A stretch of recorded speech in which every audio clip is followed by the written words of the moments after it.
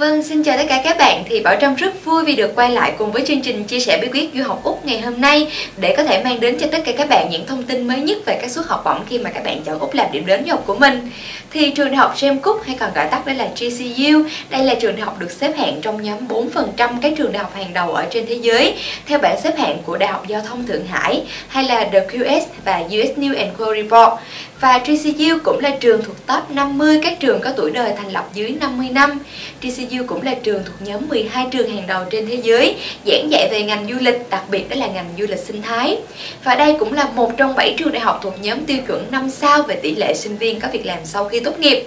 Thì trường đại học James Cook cơ sở đặt tại Brisbane, thủ phủ là bang Queensland, thành phố lớn thứ ba ở Úc, sẽ cung cấp 30 suất học bổng thạc sĩ từ 4.000 cho đến 5.000 đô la Úc dành cho các bạn sinh viên Việt Nam dự định học tại trường vào kỳ nhập học tháng 7 năm 2015 với các chuyên ngành như là quản trị kinh doanh, kế toán, du lịch khách sạn nhà hàng hay là công nghệ thông tin. Và điều kiện cần để các bạn nhận học bổng đó là các bạn học sinh phải nộp đầy đủ hồ sơ xin học bổng bao gồm đó là đơn xin nhập học, bản sao bản điểm mà đại học, bản sao các văn bằng đại học cũng như là bản sao chứng chỉ IELTS, BTE hay là TOEFL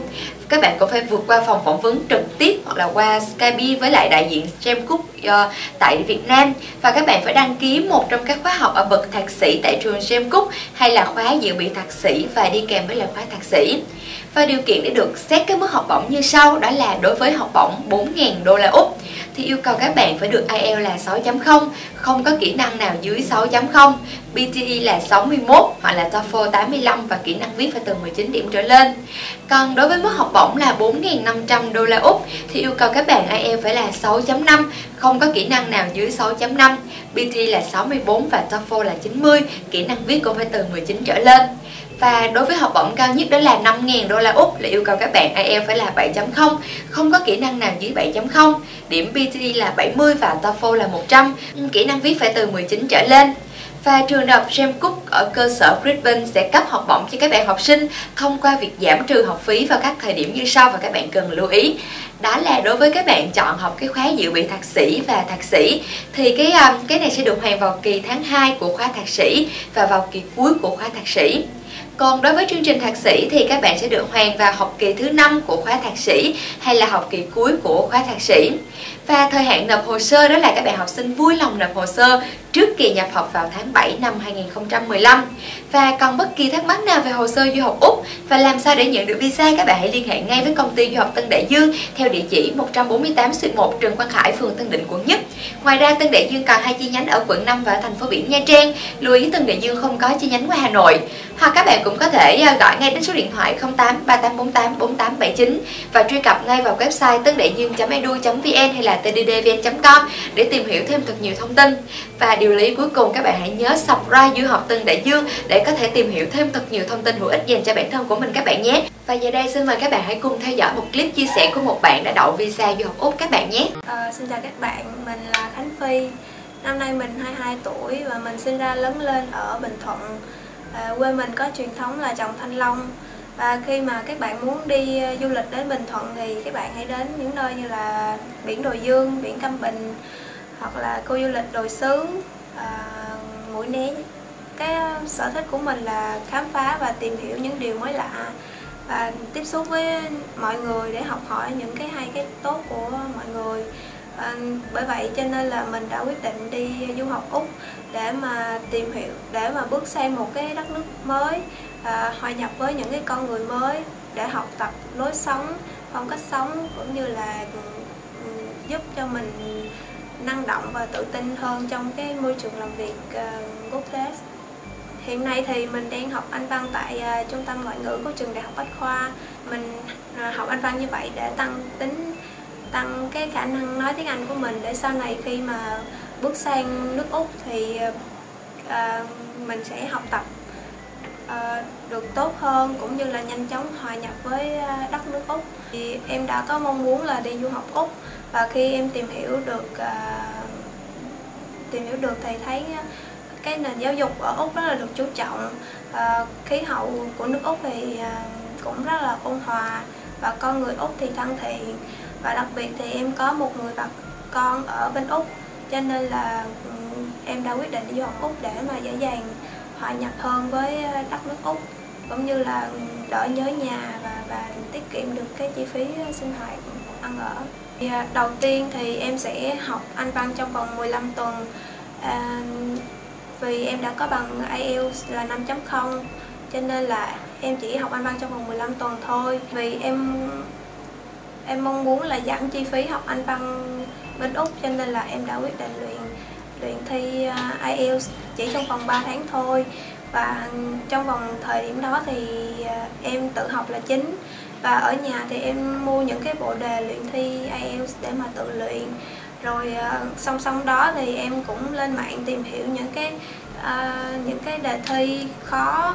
hoặc là học hỏi thêm nhiều từ vựng mới. Và thỉnh thoảng vào thứ bảy chủ nhật thì em cũng tham gia những cái câu lạc bộ tiếng Anh để rèn luyện cái khả năng nói tiếng Anh của mình. Em sẽ theo học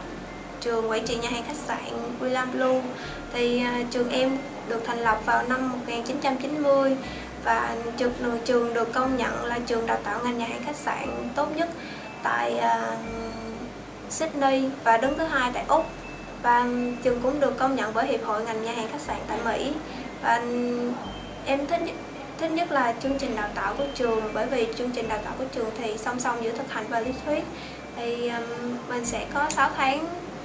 học tập lý thuyết và 6 tháng thực hành. Và đặc biệt thì trong quá trình mà học tập thì mình sẽ trực tiếp uh, thực hành tại nhà hàng William Dining uh, của trường. Sau khi mà học tập úc ở úc xong thì em có mong muốn là được làm việc tại úc ờ, uh, 2 năm. Uh, và sau khi làm việc và đúc kết đầy đủ kinh nghiệm rồi thì em sẽ quay trở về Việt Nam và uh, làm việc và giúp ích cho đất nước. Một uh, hôm thì em có xem TV và trên chương trình hành trang du học thì uh, có giới thiệu đến công ty tư vấn du học Tăng Đại Dương và em cũng có tìm hiểu nhiều có công ty tư vấn du học khác. Và khi mà so sánh giữa nhiều công ty với nhau thì em đã quyết định chọn công ty ờ, Tân Đại Dương. Ờ, vì em được ờ, bạn bè cũng như là nhiều người khuyên là nên chọn công ty Tân Đại Dương. Vì công ty Tân Đại Dương là một công ty có kinh nghiệm trong việc thụ lý hồ sơ và giải quyết những cái hồ sơ đi du học khi mà em bước vào công ty Tân Đại Dương thì em cảm nhận đầu tiên của em thì rất các anh chị rất là nhiệt tình hướng dẫn cho em tới từng bộ phận uh, để mà giải quyết hồ sơ của em. Thì uh, khi mà bước vào công ty Tân Đại Dương thì em đã được gặp chị Châu. Chị Châu đã nhận hồ sơ của em và sau đó thì chị Hương đã giải quyết hồ sơ cho em uh, sắp xếp hồ sơ của em rất là chi tiết tỉ mỉ chị Hương đã giúp cho cái hồ sơ của em trở nên tốt hơn vì hồ sơ của em cũng tương đối là, là gặp nhiều khó khăn nhưng mà cuối cùng thì ờ, chị Hương đã giúp em giải quyết hồ sơ uh, cho em và đến ngày hôm nay thì em đã nhận được visa đi du học Úc. Cuối cùng thì em em nghĩ rằng quyết định của em khi mà chọn công ty tư vấn du học Tân Đại Dương để làm hồ sơ du học Úc cho mình thì rất là đúng đắn. Nếu sau này mà có bạn bè hoặc là người thân muốn uh, đi du học thì em sẽ giới thiệu công ty tư vấn du học Tân Đại Dương để giúp cho bạn bè cũng như là mọi người thực hiện được cái ước mơ đi du học và cảm ơn những anh chị ở Tân Đại Dương đã nhiệt tình uh, giải quyết hồ sơ của em và giúp em thực hiện được ước mơ đi du học Úc em chúc anh chị nhiều sức khỏe và em mong muốn là một ngày nào đó thì em sẽ quay trở về và chia sẻ những kinh nghiệm về học tập và sinh sống tại Úc cho anh chị trong công ty tư vấn du học Tân Đại Dương.